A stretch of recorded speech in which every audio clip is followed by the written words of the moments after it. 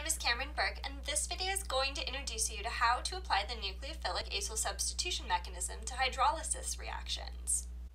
In earlier videos, I explained each step of how the mechanism for base-mediated nucleophilic acyl substitution works. Go back and review the in-depth details of the mechanism if you need to, because this video is going to show you how that base-mediated mechanism can be used to create carboxylic acid derivatives.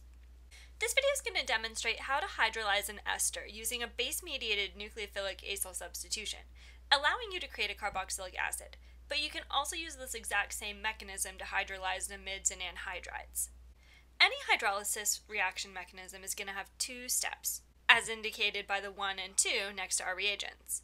Step 1 is a base-mediated nucleophilic addition and elimination. Step 1 requires that you have an ester and a base just like in earlier videos covering nucleophilic acyl substitution. The carbonyl carbon is going to be super excited about grabbing these electrons. At the same time, the carbonyl carbon can't hang on to five bonds, so it'll break one of the bonds with carbonyl oxygen. This is going to create a tetrahedral intermediate. Now that you've created this tetrahedral intermediate by adding a hydroxyl group, you're ready to finish step one of this hydrolysis with an elimination. Here's how it's going to work. For starters, our carbonyl oxygen is carrying a negative charge. The carbonyl carbon is having its electrons stolen by not one, not two, but three oxygens. So carbon is going to be pulling these electrons back into a double bond. However, carbon isn't going to want to have five bonds. So, the oxygen with the most carbons bonded to it is going to be the most electrophilic. And that oxygen is going to be the one that takes its electrons back from carbon and goes up. Once the most nucleophilic oxygen breaks its bond with carbon, this is temporarily going to result in a carboxylic acid. But you're also going to be left with the methoxide ion, which is incredibly negative.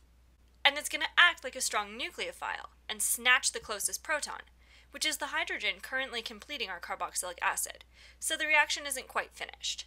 At the end of the first step, you've added a hydroxyl group to the carbonyl carbon, creating a carboxylic acid and you eliminated a methoxide ion.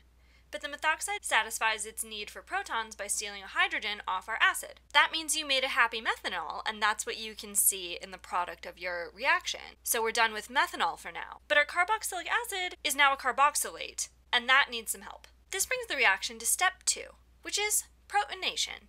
We're going to add some acid to protonate the carboxylate, creating our final carboxylic acid product. Once you add some protons to the reaction, the carboxylate's going to snap it right up. And the carboxylic acid will be happily electrically balanced. And your final product will have transformed an ester into a carboxylic acid and a methanol. To summarize, you can use base-mediated nucleophilic acyl substitution to chop up amides, esters, and anhydrides in order to turn them into carboxylic acids. A typical base-mediated nucleophilic acyl substitution reaction always has the same mechanism, so if you can nail down the first step consisting of an addition and an elimination, you'll be able to explain most of a hydrolysis reaction. If you remember to protonate as your final step, you will have created a carboxylic acid. Thanks for watching!